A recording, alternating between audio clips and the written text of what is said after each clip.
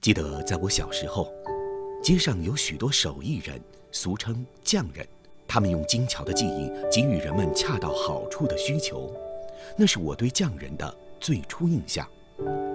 随着时代的变迁，“匠人匠心”一词被越发叫嚷的火热，它被用在一生只做一件事儿，还做到极致的人们身上。此刻，我来到了巩县罗渡苗族乡。珙县蜡染被国务院公布为国家级非物质文化遗产，也在四川首批农村生产生活遗产名录中。眼前这位熊宗会大师，便是珙县蜡染省级非遗传承人。熊大姐，今年好多岁了？嗯，我今年五十一了。从事蜡染好多年了？啊，已经三十六年了。三十六年了？哎。哎呦，你是跟哪个学的呢？这个忘了噻。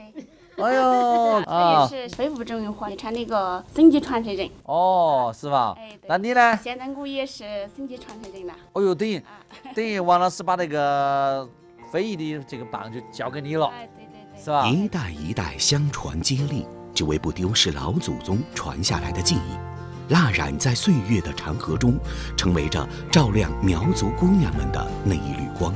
和大家简单交流之后，熊大师说：“带我体验一下这个富有魅力的苗族蜡染。”我们蜡染的第一步画了。哦。嗯，七哥。哎。嗯，欢迎你在这里体验一下吧。我也体验哈。要得要得。哎，这些工具都是啥子工具呢？这个是蜡刀。哦。蜡刀，这是蜡嘛？这是蜡锅。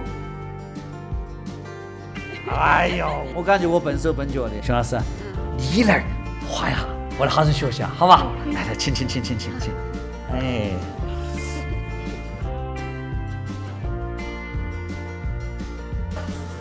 来这，哎，嗯，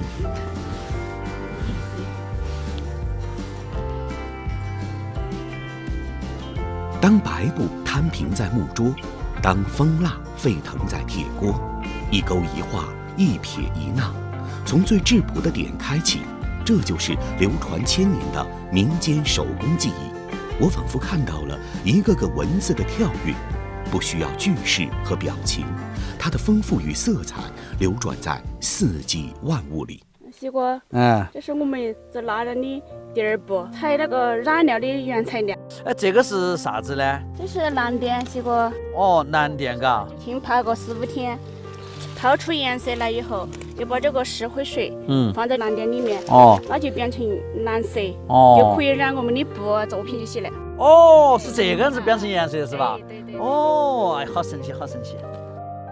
哦，那这个接下来该是干啥子呢？那就就染布嘛，先在水里面泡，浸泡。哦。直接把它放下去了哈。你就这样放下去，提起来放起，要这样要染个。两三个小时哦，就这样反反复复的是吧？对对对，你看哦，变成蓝色了。嗯，下一步我们就开始清洗了。开清洗了哇？好，要得要得哈。哦，哦，哦，这个花样好漂亮，好漂亮。嗯，这下步就煮，就放在锅里面去煮。嗯。然后就把这个作品放在这锅里面煮。啊，煮要把这个蜡煮掉。哦，这样子。煮掉那个那个花纹就自然就会出来。煮的话就是要一直这样搅拌。哇，哇，好神奇！啊，它这个蜡烛店，这个花纹就出来了。现在是湿的嘛。嗯。那我们做的有一些成品在展示厅里面那那边的。哦。我们就在那边去看我们的作品嘛。要得。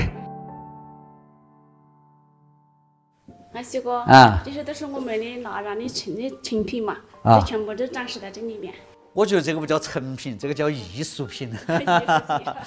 哎呀，熊老师，熊老师啊，就是通过这么长时间的体验，我就感觉你们这个苗族的蜡染呐，不管是呃做工、工序、劳动强度，包括时间，都非常非常的久。那么我想问一下，这么多年你坚持下来的意义又是啥子呢？你这个蜡染嘛，是我们苗族的结业嘛，嗯，所以要把这个蜡染坚持下来，嗯，不要让它嗯断掉。如果是我们不坚持下来的话，今后我们的子子孙孙的话都不晓得这个蜡染是什么东西。哦，你坚持下来就是为了子子孙孙晓得你们自己民族的文化、自己的记忆不能忘根。几十年的蜡染岁月中。有困难，有委屈，但这仅仅只是插曲。因为对蜡染的钟爱，才有了如今的成绩。未来也将继续坚守与创新，让蜡染技艺延续下去。贡献蜡染经过多年的发展，也遇到一些问题，主要是创新与传承。创新就是如何把传统手工艺与当代结合，传承是如何让更多的年轻人加入进来，呃，成为我们的接班人。传统手工艺需要在守旧中创新，同时又需要前辈力量，在技艺基础的夯实中不遗余力的传授，培养更多的接力者。这是现状，也是蜡染传承人正在突破的瓶颈。去接力。传承，再去创造新生。呃，想要去迎合当下年轻人的品味，呃，去做一些所谓的创新。这种创新其实只是在一些颜色材质上的一些变化，而不是真正的创新。可能更多的需要传承人们去吸纳更老一辈人。其实，在我们博物馆的收藏品中，比如说，呃，二三十年代的。这样一些老的这种手工艺品，它们其实是很有震撼力的，它们是能够真正的吸引当代年轻人的。然后另外呢，呃，这样一些新的新生力量，嗯，能够更好的加入进来，在老一代的这种努力和新一代人的加入中，他们摩擦出更多的火花，然后才可以把这种传统手工艺在我们当下的生活中得到一种延续。